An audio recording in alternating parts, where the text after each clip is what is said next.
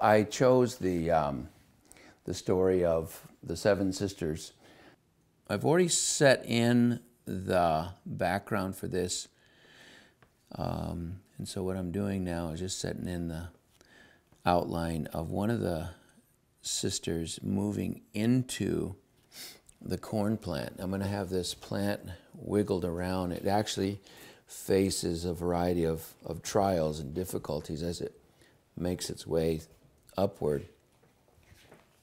Um, the neat thing about art is, is that the artist has a responsibility to, to use whatever talent they have to, um, to tell stories about life experiences. Um, so then I looked up what I could about those um, seven sisters and uh, found a variety of things on the internet. I know they came from St. Louis in May of 1870.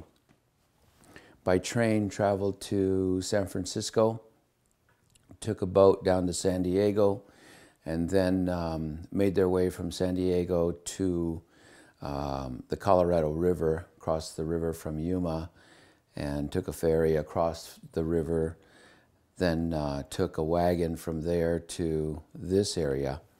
Um, read the journal of um, Sister Miranda, and um, just was was really impressed with the, you know, the the heart that these women had to make that trek back then, and um, to be greeted in Tucson and. Um, to just be welcomed by, I think there were, the, the diary said there were about 4,000 people that joined that welcomed these these women, and uh, they encountered wolves, and of course they got encountered Apaches over there near Picacho Peak, and it's just a really neat story about about their journey from from home from St. Louis down this way. In this journey, this one um, diary of Sister Miranda, I I I heard, I read that that first night when they left uh, San Diego, they just got about 12 miles that first day.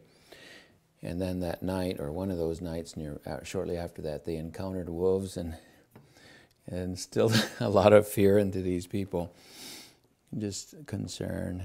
And um, I don't know, just, they were, they really, you know, this is 1870, so they're traveling and they're, um, they need to, they're traveling across from San Diego to Yuma, and they, they want to, they need water. That was a really big deal for them was to, was to um, find water and have water. But that was the hard part, one of the difficulties that they faced. Give these ladies a lot of credit for what they experienced, what they went through. I extended her arms a little bit beyond realism because I wanted that reach, that sense of reaching up to be able to be used of God. Um, there's a certain time in people's lives when they recognize the full extension of their, their balance. Uh, can I show you the sketch that I've been working on? I've developed some sketch, just one page really. That's all I needed on this one. But um, in the, I don't know if you can see this, but in the, in the very front of this one, there are some rocks that where you have people who are representing these sisters, and they're in a very humble, bent over position. I mean, they're really seeking to know what um, God wants them to do in their life. And and I hope that, you know, I've been through that in my own life where I've been through some very traumatic times and you really grow and you're fine, you just have such a strong desire to know. So that, that's in those rocks and then, and then that's going to bloom up into actual, uh, this one's probably a little better. It's just a very simple sketch, and but yet here's the rocks down here, and then the, you got these sisters moving up kind of rising up from out of the rock and then um, into full form and into full work um, as they arrive here in Tucson um, to do to start off with the, their work with St. Mary's Hospital. And I use I love using a corn plant because corn is so um, significant to me as a native, as a Navajo. Corn is significant to people of the Southwest, indigenous people of the Southwest. And um, so out of that corn plant, I want to put in the, instead of using corn cobs, uh, coming out of that plant with a number seven would be the seven sisters right in here coming out of that plant into full fruition. So I'm excited to develop that. Now I'm going to sketch in down here with some other dark colors, just some rocks. And that's where these sisters are, are actually uh, involved in that place in their lives where they, they um, are reaching a point of confirmation, realizing the fulfillment of what they need to do. These rocks are going, they represent the, the prayers, the humility of those seven sisters, and how they, um, they started out that way. They started out, there's something in their story that I, that I know happened somewhere in their journey in St. Louis or before they came to St. Louis, where um, they they reached a point in their lives where they knew that they wanted to become uh, nuns. They knew that they wanted to be involved in the work that God had called them to, and they they decided, you know, through the through a spiritual experience that that it was going to be regardless of the circumstances it was going to be something that they would would do and so that's what these rocks are. And then I'm, I'm going to put into them, into the rocks, these um, images of, of um, people hum, hunched over in prayer. I hope that I can find some information about these seven sisters and how they even got together.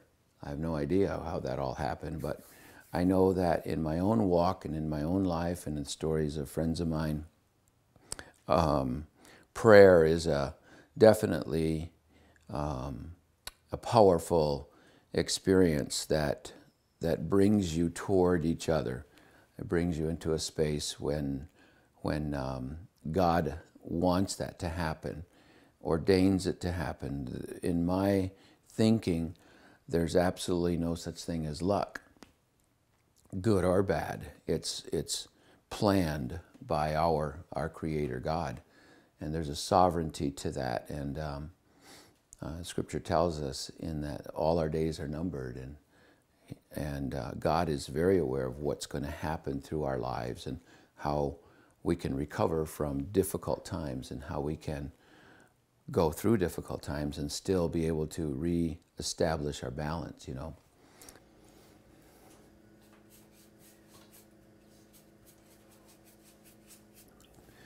All right, I'm going to sit down and sketch in some of these corn plants that are going to come out of this main stem. There. Come out and curve it. And then sketch in the nuns as a corn plant right here. There it is.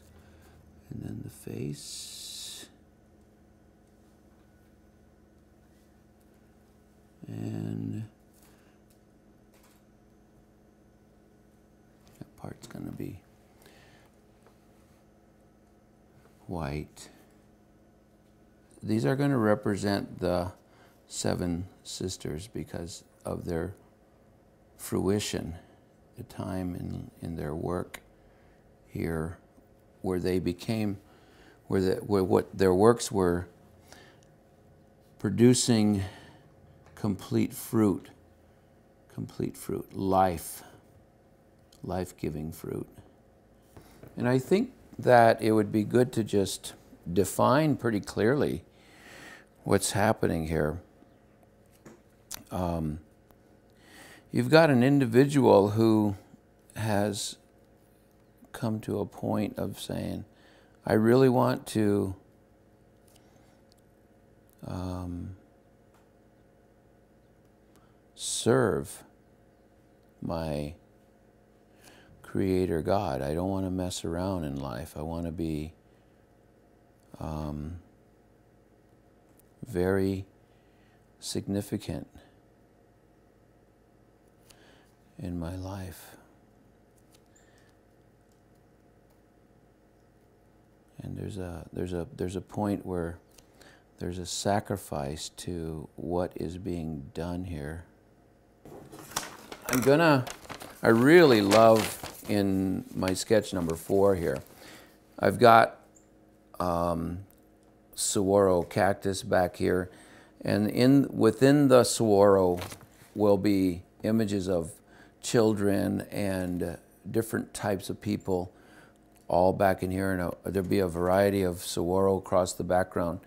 Within those people, the, within the within the saguaro will be these people, and that'll represent, you know, what they did with the hospital and the impact that they had on people. And um, I'm going to, I would guess that there were a wide, already a wide variety of people in Tucson. So I'm going to put in a, a good variety of indigenous balance in here. And even today, you know, we've got a city that has lots of different representations from all over the world and just have those kind of setting back in here. I don't know the information on, on what moved them or what brought them together uh, initially. I, I don't know that, but I know that people of, of character, people of balance, keep people who contribute um, their, their talents and their gifts in a humble manner to the world uh, usually have a story of of um, being rooted in a, a, good foundation or coming through a journey and finding that balance and harmony in their life where they they um, they've gone through some difficult times that often that's the case where they it's it's honed off the rough edges and it's helped them to become more um, useful I guess just useful in how they're gonna they want it they grow up and they, they grow into this world and they want to contribute and give